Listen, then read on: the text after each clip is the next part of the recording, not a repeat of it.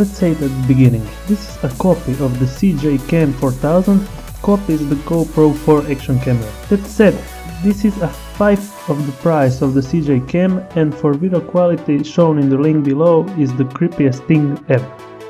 The lens is not wide as in the description of the manual of the box. Better than a wide angle, I can say that this is the shortest angle ever. The recording is only 720p and not 180 or full HD that is written on the box. The image recorded is out of focus and distorted at all ends of the video. I remember better recording with my 10 all year phone.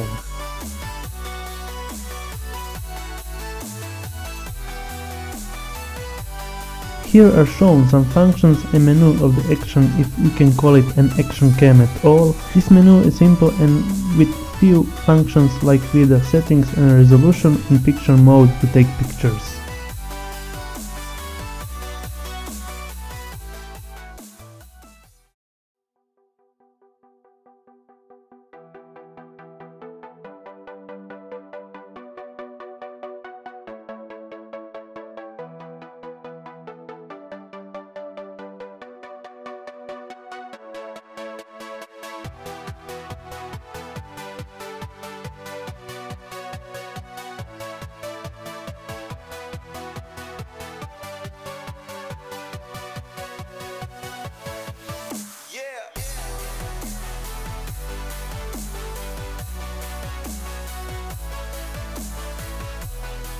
Navigate this with these buttons here and the menu but also with the button at the other side at the front and, and the top bottom of this little camera. These shown here are the HDMI inputs and the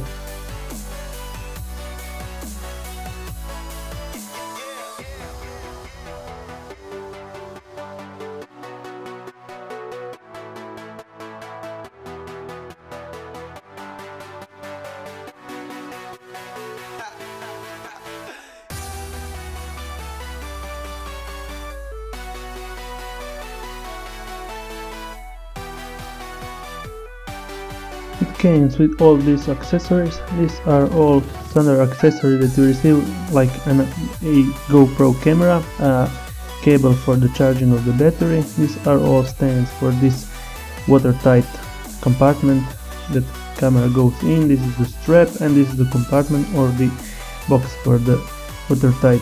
I don't know, I didn't test it but I think it should resist the 30 meter spec. This is the manual shown here of the camera. It says made in China and it has all the labels down there on all the functions explained.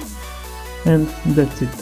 Thank you for watching and subscribe comment and share this video if you liked we'll see now some cons and pros of this camera. I think only cons for this camera at all. Thank you